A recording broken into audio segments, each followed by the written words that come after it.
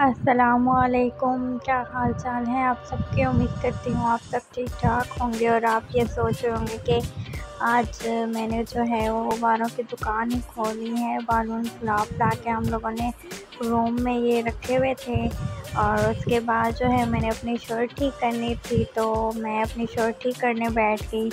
फिर शाम के टाइम जो हैं ये छोटे बच्चे जो हैं अपने छोटे भैया की बर्थडे सेलिब्रेशन के लिए जो है कुछ डेकोरेशन कर रहे थे तो ये सारे जो हैं, दोनों बहन भाई मिल मिल के जो हैं ये डेकोरेशन कर रहे थे।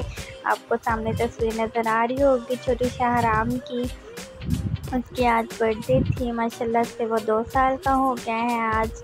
तो आज उसकी बर्थडे थी तो उन छोटे भाई, बहन भाइयों ने जो है मिल के इसकी डेकोरेशन की और फाइनली हैप्पी बर्थडे भी यहाँ पे जो है वो पेस्ट हो चुका हुआ था और ये शाहराम साहब जो है मस्तियाँ गा रहे थे। अभी हमने इसको तैयार नहीं किया था क्योंकि आपको पता है कि छोटे बच्चे जो होते हैं, तैयारी के बाद फ़ौरन से कपड़े जो है गंदे कर देते हैं। ये शाहराम साहब तैयार होके टोपी पहन के बैठ गए हैं केक कटिंग करने के लिए। और ये हम लोग जो है हैप्पी बर्थडे शाहराम का नारा लगा रहे थे। और शाहराम खुश हो रहा था और इधर उधर देख और ये साथ ही जो है हमारी बर्थडे यहीं पर ख़त्म होती है। बर्थडे की वीडियो फिर मिलेंगे किसी नेक्स्ट वीडियो में। तब तक के लिए अल्लाह हाफिज़।